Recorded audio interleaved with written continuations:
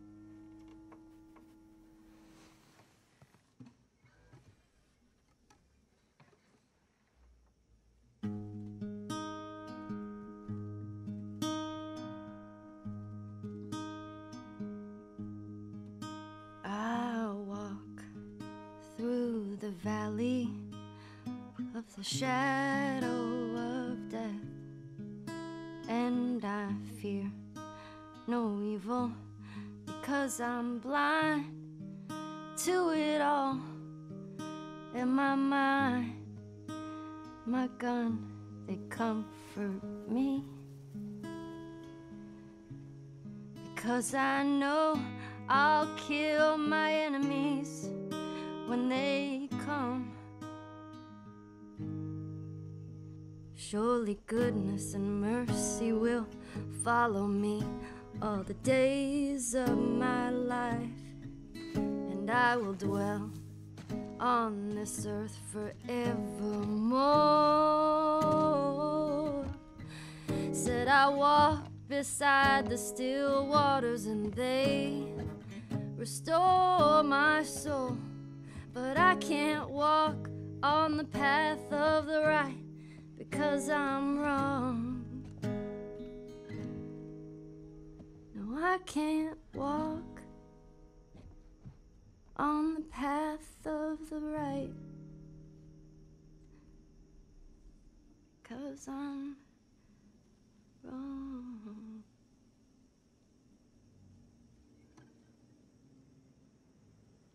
What are you doing, kiddo? You really gonna go through with this?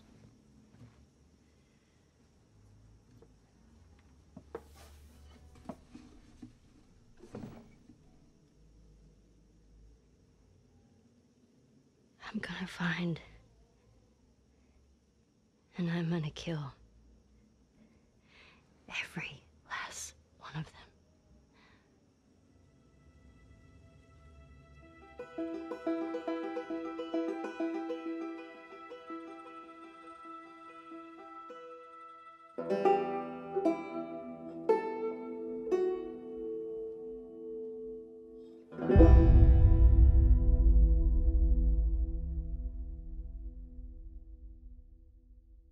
Um, holy shit, The Last of Us 2.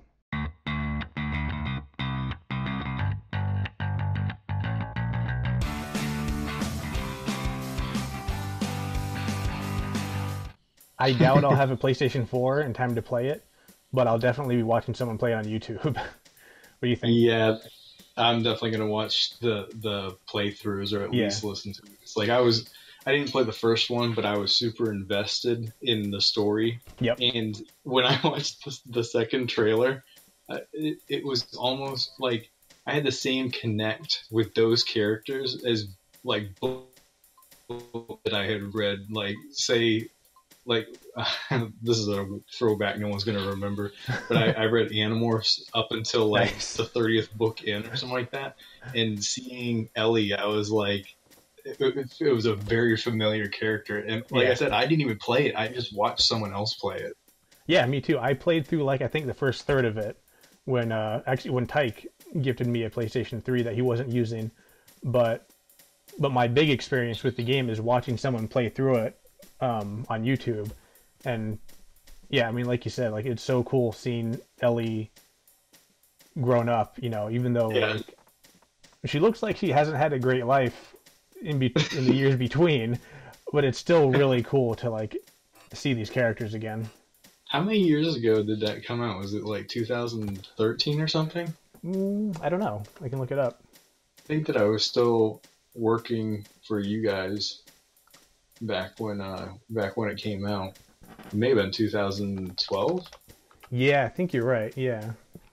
For our listeners, uh, Gary and I used to be co-workers back in the day. Yep. Uh, 2013. Yep. Yep. So it came out three years ago, and I think it takes. I think this new game takes place nine years, or no, six years after the first game. They did a good job of keeping it a secret because I had no Yeah. clue that they were working on something like that. I'd heard like little hints, and I think everyone just kind of assumed because it was such such a good game, and you know, you can never leave a good thing alone. Um, but yeah, I'd never heard any like confirmation until what Sunday or whatever it was. I'm not gonna try and jinx anything, but hopefully they don't drop the ball with the game. Yeah, yeah, Because you know how sequels are. It's the same thing with like with movies. They decide they're going to make a sequel, and you're like, "Oh, this is going to be awesome." Because say like the first Iron Man was awesome. Yep. And then next thing you know, you're like watching, and you're like, "I guess it was Uh. good enough to pay twelve dollars to see." yeah, yeah. Well, it was. I You mean, kind of go on. you kind of justify the money that you spent because you're like, it was worth twelve dollars. Yeah, yeah. I, I think I think Naughty Dog has a good track record with with sequels, though. I mean, the un, the Uncharted games. I don't think they, I don't think they got worse as they went on. and uh, like we we were talking beforehand about Crash Bandicoot, there was those only got better until they came out with the racing game. Yeah, I kind of like the racing game actually. That was it was fun. I mean, it was it was a party game, but it was fun. I I grew up with uh, like my babysitter back when I was uh, in fifth grade had uh, Mario Kart for for Super Nintendo. Mhm. So I learned that, and then I learned Mario Kart for N64.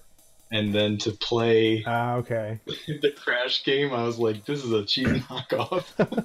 Yeah, I mean, you can't deny that. It was it was kind of a knockoff. It was fun, but it was a knockoff. At that time, they came out with every type of racing game. They they had Diddy Kong Racing. They had right. anything because everybody was playing the N64 Super Mario Kart. Yeah, But yeah, it's that's a different discussion. yeah, yeah. yeah slightly off track. Um, all right, let's talk about the trailer a little bit. So, so did you notice in the be- that tree that they focus on in the beginning? There's like gouges taken out of it. I did, I did, and I was I didn't know what they were hinting at with that. Whether it was the infected, um, or they don't call them infected. What do they call them in this? Um, yeah, I know what you mean. I think they do and call them infected, maybe. Okay, I thought I, Sure. I thought that I was like referencing The Walking Dead or something like that. Um, yeah, I didn't know if it had to do with those beasts or what, because like you watch the trailer and they're not Uh, they're not really hinting at that. They're kind of hinting at the people that still exist, or at least that's what I gathered from it. Yeah, yeah. Well, because I noticed, like to me, it looked like either. So I figured it was either claw marks, some sort of damage from like a, a big fight that went on there, which I mean, Yeah. obviously later in the trailer there was a big fight there. Yeah. Or it kind of looked to me. My my first thought actually was like an orienteering sign, like if you're trying to you know leave a mark so people know where you are, you kind of Oh, that's probably put an. X in the tree. So Yeah, which could be because then we notice we see that we're going into a uh, a firefly camp. yep. So if they were trying to leave a, a path to their camp, you know that, Yeah, that could that just been what it is. I wonder where they're gonna pick up because I don't I don't even really care. I th- I think that it's gonna be awesome no matter what. I'm super excited about the game, and I Yeah. you know you know me like I'm not opposed to gaming. Like for the longest time, I I played video games from when I was a kid, like like elementary school level, like uh, kindergarten level. I used to play Yep. games all the time, nonstop. I knew what games were coming out. I didn't need Game Informer or anything. I knew when the new um, Banjo Kazooie was coming out, but I knew when a title was coming out only for X, Y, and Z system. But nowadays, they come out with a new game for per company every week, so Yeah. I just can't keep up with that kind of stuff. But I, if I get the chance, I think that it would be interesting to to have the console have the game and, and try it out for myself. Oh, definitely. Yeah, because even playing, um, so like like watching the last watching someone play The Last of Us was great, but I did notice it's a totally different experience playing it, just because there's so much more like interaction between Joel and Ellie that are different interactions that you don't get watching someone else. One of my favorite things, this little incidental reactions or interactions that I never saw in a playthrough video was there's one part where you're going through a town and Ellie starts making this like weird high pitched breathing sound and Joel's like, What the hell are you doing? And Ellie goes, I'm trying to learn to whistle. And Joel goes, You don't know how to whistle? She goes, Does it sound like I know how to whistle? and it's just like one of those great little incidental things that somehow it, I never saw it in any of the YouTube playthroughs. And it showed up in my game, and it was just great. It was just unexpected and funny. That's pretty neat. Yeah. I wonder, like, I think the last one, what was that? Like, it was something like 18 hours long. Yeah, I think, Maybe- yeah. It was, a, it was a uh, good length. have one of us do like a playthrough on it or something like that. Uh, what was that? I said maybe we should have someone do a playthrough on it or Oh, a yeah. walkthrough. Yeah, it'd be cool. We'll, we'll buy Tyke a capture card and have him play through it. Exactly. Uh, so have you have you heard the theory that some people think that Joel is dead and he's he's a ghost appearing to Ellie? No, Yeah, I like some- it. Yeah, some people are saying he might be dead, and like when she says she's gonna kill every last one of them. I mean, obviously the game is about revenge, Yeah. so it could be she's getting revenge on the Fireflies for killing Joel. Oh, okay. So it's it's applied to this game. It's not applied to the Oh last yeah, yeah, one. yeah, not the first one. Yeah, I was I was thinking, well, that would be kind of neat if she if she was imagining him so that she could make it through The all the entire trials that she was going through. That'd yeah, I know, and and there was parts where you played Joel, and so that Yeah. wouldn't make any sense, but it'd be interesting. Yeah, but uh, yeah, I don't know if, if Joel is dead. That would be that would be an interesting way for the second game to play out. And I think whether he's dead or not, I think they're setting him up to to be like Ellie's spiritual guide. You know, she he's she's gonna be the main character that you play as, and he's gonna be there like maybe maybe holding her back, keeping her from going over the edge, or or it's Joel, so maybe pushing her over the edge.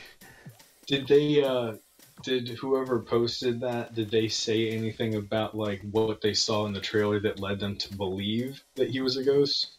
They said, um, well, some some of the evidence is that when he first shows up, he kind of just shows up out of nowhere in this like halo of That's light true. through the doorway, and you never actually see his face. You hear him talk, but and they show him from behind, but he doesn't.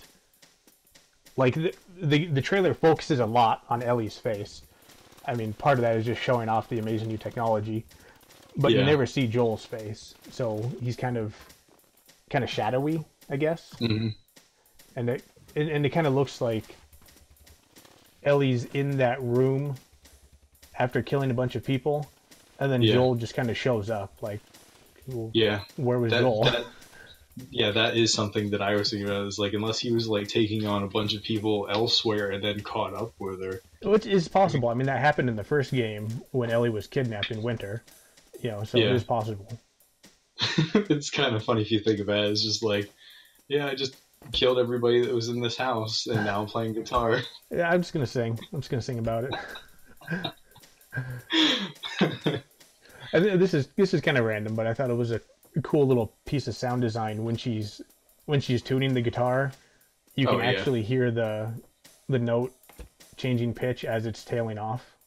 yeah that was actually something that i was thinking about while i was watching is that that the the sound of her hand rubbing across the strings Yeah, is i mean that's something that only people that have played guitar would think about Yeah. but like it, it, it was uh, it picked up everything. It wasn't just like um, adding sound bits in where you thought they were appropriate. Like, well, she's gonna play a chord, so let's hit uh, the E string or something like that. Yeah, yeah. I mean, the sound design and the attention to detail is is great.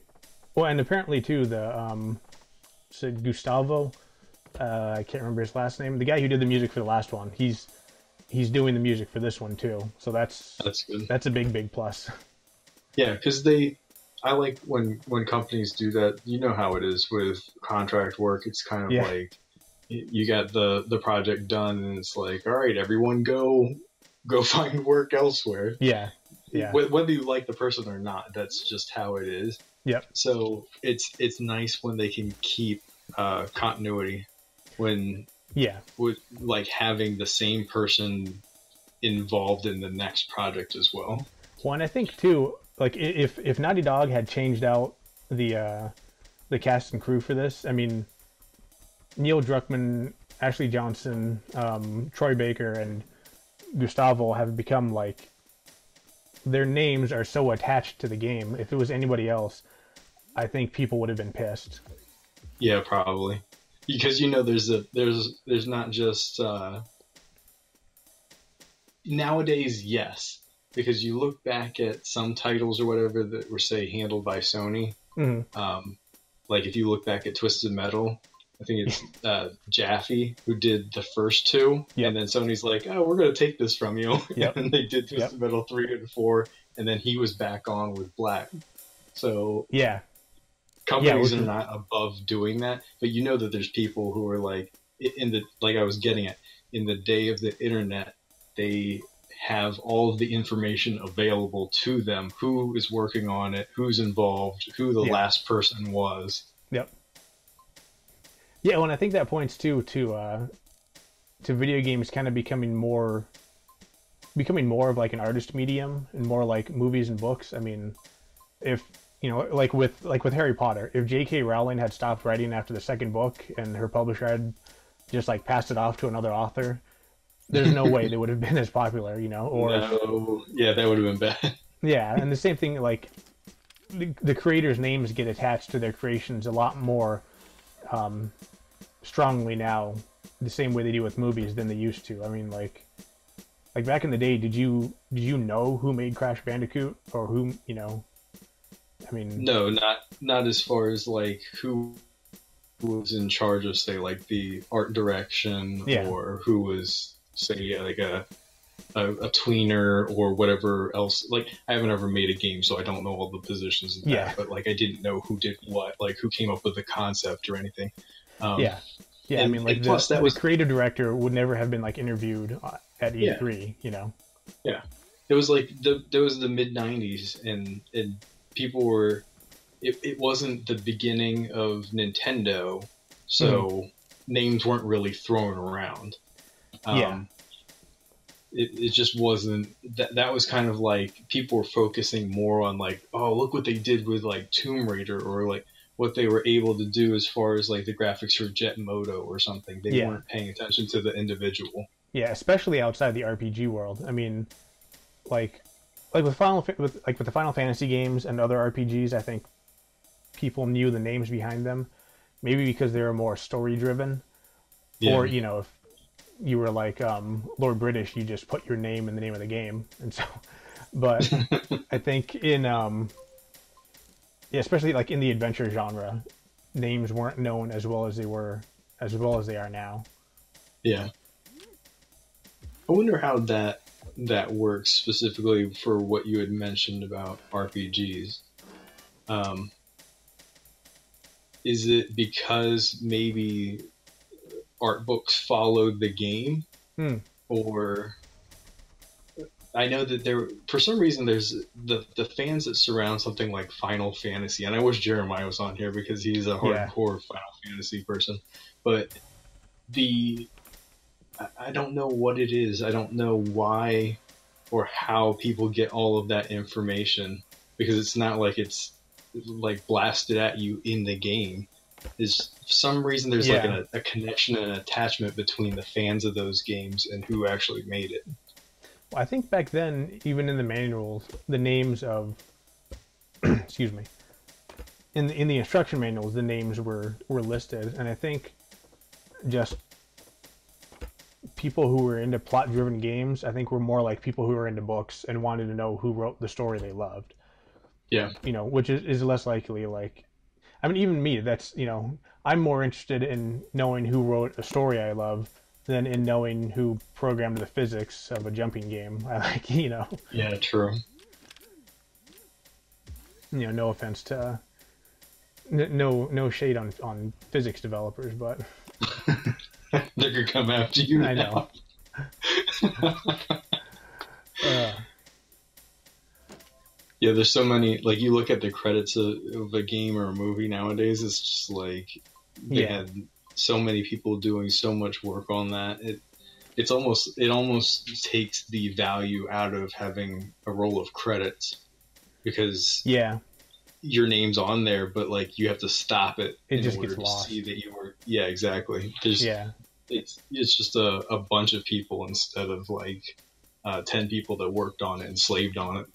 Yeah, yeah. It is interesting though, but now like, despite the fact that games are much larger groups of people develop, take a much larger group of people to develop, I Mhm. think we're seeing the rise of like the auteur developer.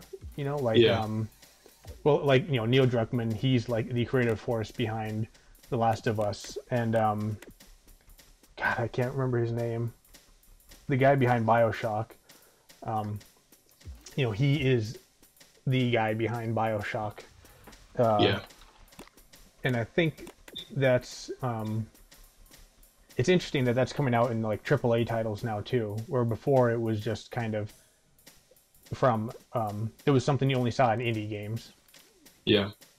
I wish that, like, I was looking at the graphics in Last of Us when I was watching the trailer of that. I don't know anything about engines really, Bioshock. Sorry, but I, no, that's alright. The, um, I don't know anything about engines, but I do Ah. know about textures. But the thing is that what I know about textures is what people were doing, say, back in like 2004.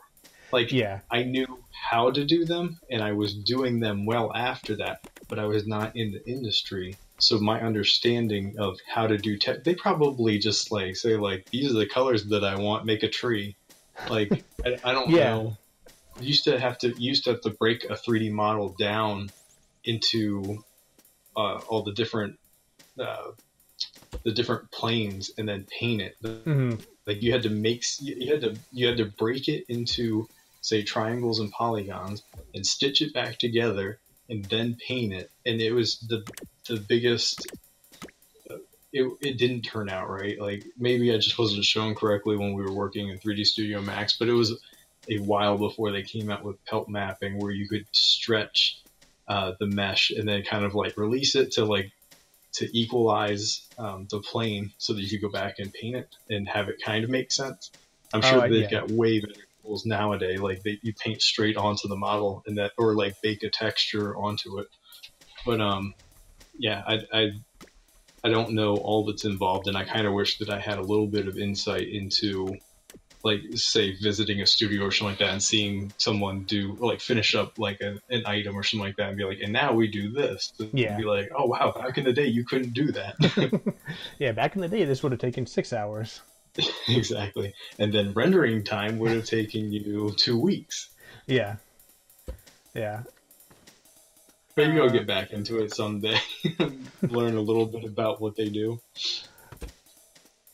yeah. I mean, like you said, even you know, I um, I graduated with my degree five years ago, and like the the technology I learned, not the design techniques, but the technology I learned is already out of date, pretty much. I mean, hmm you know, unless unless I want to do like indie games where there's a lowered expectation in terms of being on the bleeding edge. But yeah, if I wanted to be in a AAA studio, my tech skills are out of date already. yeah they, they definitely stay cutting edge Yeah. Um, someone's always working on something new that's why i hated when i had uh, classes for 3d modeling they would make us buy the like the 3D Studio Max 5 will say 5 or 6 or something like that. And you're kind of like looking through it. It goes over everything. Yeah. And you're like, what are the tools that I'm actually going to be using? Like, how do I loop around this, this, uh, um, this panel of polygons and divide it, or how do I do Yeah. this and that? And it, it just went over everything, like tools that you would never use. It's almost like, um, and I'm finding this with my own artwork, Ah. is that I've known about all the different filters that are available in Photoshop, but you have you have no business using those until you have gotten like like 15 years of Photoshop under your belt because Right. otherwise it looks exactly like what it shows you and you're not manipulating it. You're just using it for what it is. Well, and let's face it, like sixty percent of filters in Photoshop, nobody should ever be using anyways. I mean, That's what I'm saying is that like when you, when you start understanding the program, you can start using that. But like otherwise, everyone's like lens flare. it's like what is that? yeah, yeah, it just becomes an awful thing instead of like I creatively uh, recreated the whole Star Trek film in this just one one scene. yeah. Five different lens flares from all over the place. Um, yeah, so I guess Neil Druckmann said at um, whatever PlayStation conference, whatever was this weekend, I don't remember. Um, he was saying how like the last game was about uh, was about love. So you know, like the love between Joel and Ellie, and they they grew to be like a uh, a father and daughter unit. Uh huh. And he says this game is the flip side, and it's all about hate and revenge. So She's a teenager, so right, she's 19, yeah. so, um, yeah, I mean, I definitely get that feeling from the trailer. Then when she's like, "I'm just gonna kill everybody," yeah. and Did they actually say that she's 19? I, uh, I think I read that on Kotaku. Yeah, I don't know if The, Druckmann the- said it. the reason I'm asking is because I'm a member of DeviantArt and weird stuff happens when, when people are like, know the exact age of a character. I'm just going to have Mm. to shield my eyes. yeah, yeah. uh, but no, so it'll be interesting if this game is. I mean, if the first game was about love and it was pretty dark and depressing, and this one's about hate, I'm really interested to see where it goes and see how see how deep it goes. Yeah. Do you, with, with games, do they usually release like a secondary trailer or is this all they're going to give us, do you think? I'm Um, sure there'll be a few more trailers game. between now and I think it comes out in 2018. So Oh, wow. yeah, I thought that, I thought that, well, you know how it is. Like with, with movies or whatever, they'll release a trailer and be like coming out next month. And then Right, they get yeah. some that are like hyping it for like a year and a half and you get tired of hearing about it. I didn't realize it was coming out 2018. Yeah, yeah, I think so. That's what I read.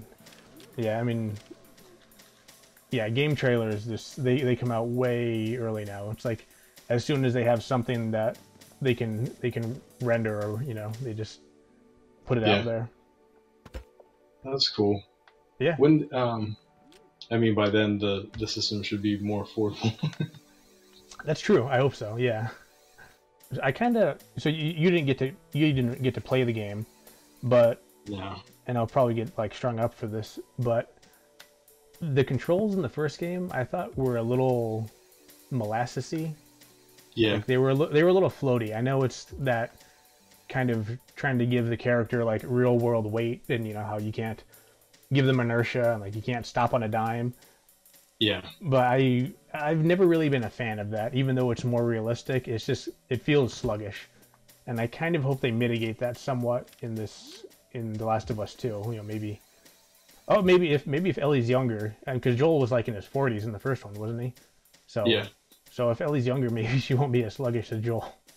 Yeah. The, I'm on board with what you're saying because like, um, I am the kind of person that likes, say, Halo controls, like like Halo One or Two controls, where it's kind of like you stop hitting the controller, it stops doing things. Yep. Or playing uh, like the Burnout Racing series.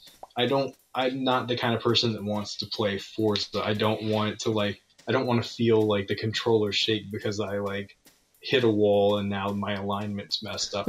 I want it to be like you gave me boost and I can do 200 something miles an hour and run into walls and then keep going. Right. I don't care about like real world stuff. Let me um, experience it the way that I want to. I don't need to feel like I'm actually trying to like move a person. Yeah, yeah, and there's, I mean, like I appreciate a certain level of realism, but especially in a game which, in my opinion, is so plot focused, like The Last of Us, I don't really want to be fighting the game to get to more plot. Like I definitely, I want challenge in between segments of story, you know, and feelings of accomplishment, but I don't, mm-hmm.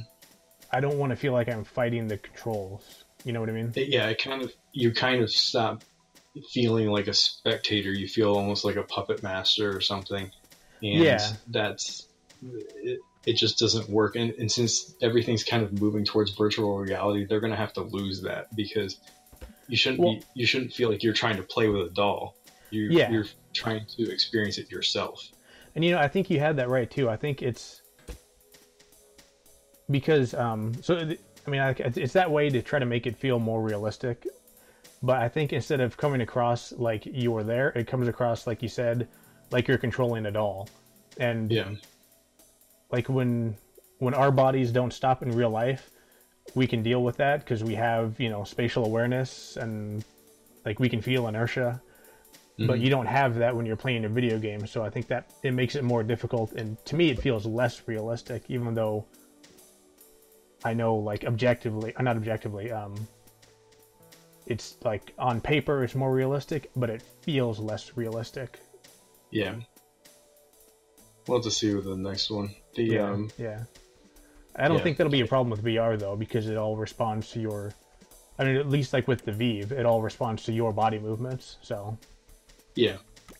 I think that that makes more sense to like you already know what action you're about to take, whether you're gesturing or or or about to turn your head or something like that. You don't need that built in. That would just make people seasick. Yeah. Yeah, you you provide your own anticipation. You don't need it in the in the animation. Right. Yeah. If Joel It's is funny dead, how much um, how much on. you can speculate on a game based on like a two minute trailer or whatever, Yeah. however long it was. Yeah. Um, no, I was gonna say if if Ellie or not if Ellie if Joel is dead, then that means that Ellie killed all those people in the trailer, and she's become a lot more of a badass than she was in the first one. I mean, she kind of was by the end of the first game, but I don't. Well, if that's the case, since they didn't actually show that, maybe they'll give some backstory or something that would help. I mean, that would keep it pretty interesting to to have say flashbacks or something like that and Yeah. show what was taking place, or maybe you play through that. Yeah, yeah. Oh, that would kind of suck. That would be like that would be emotionally wrenching to The trailer's actually at the end of the game. No, it's just say if you uh if you were um, the character and you Mhm. were playing a scene, but you couldn't affect what ultimately happened, so he dies Mm. either way, Yeah. but you're trying to, to prevent that. Mess people's heads. Yep, yep. Uh, yeah, it would be interesting. I wonder. There's so many things that she could mean when she says she's going to kill them all, like who she's talking to, and They killed that guy in know. the, the end of the last one, right? I Uh, can't remember what his name was. He was the one in like it was like a burning church or something like that that you were, or maybe it was a bar or something. Yeah. You were fighting that guy. He was Yeah. like supposed to be cool, like a couple chapters back, and then turned out to be not fine. right. Yeah, yeah. The guy, well, the guy who, um, yeah, when you play as Ellie for the for that brief period? Yeah. Yeah, Yeah, I probably should have like gone back through. It's been say three years or whatever since I since I watched it. I watched it right after it was released, but Mm, it yeah, I kind of I only remember like a few things that maybe had an effect on what I was seeing at the time. right, right. Yeah, um, because I was I was wondering too though. So at the end of the first game, Joel lies to Ellie about about basically the last like 20 minutes of the game. You know about about who the Fireflies are and about whether or not she really was the last hope for humanity. So I'll be interested to see if that comes back in the in the new game or if it has if it has had any influence on the events of the new game. Yeah. But we need to see where it picks up because I don't. Yeah, I I don't think it, I could be wrong, but I'm I'm not sure if the a game company would just drop you back into like this is exactly where you were, or this is like a couple of things have happened, but for the most part, you're still living in the same spot. You haven't gone anywhere yeah. picking up. It looks like I mean they didn't show the trailer any um of the infected, so I you know, maybe if it is all the infected are gone and it's just about real people, you know, Yeah, it'd be interesting. yeah, that would be interesting. Hopefully, it's not.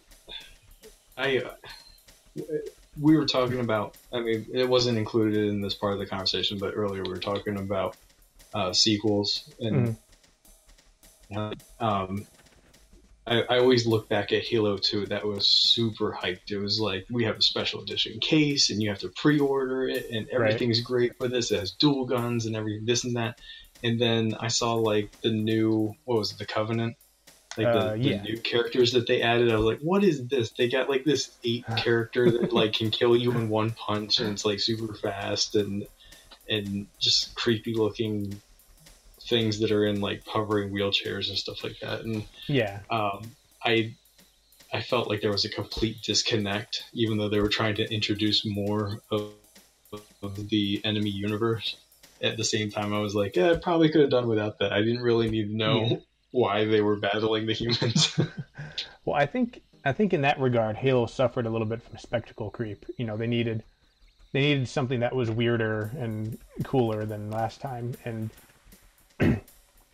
I think it would be great if The Last of Us Two went in reverse and made it, you know, more um, more human and more and less like supernatural and zombie like yeah, it would certainly make the game darker. I mean, if if if The Last of Us Two became like Manhunt with a good story, that would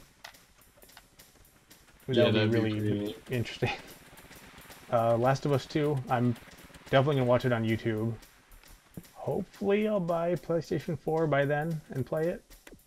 I think that we could do like a group investment or something. It's just Right. that whoever has the time to play through, if Yeah, it's like an yeah. hour game. Well, it's about time, we should just buy Matt a capture card then and get him. He'll play through the whole thing in like two days. Oh, yeah, for sure.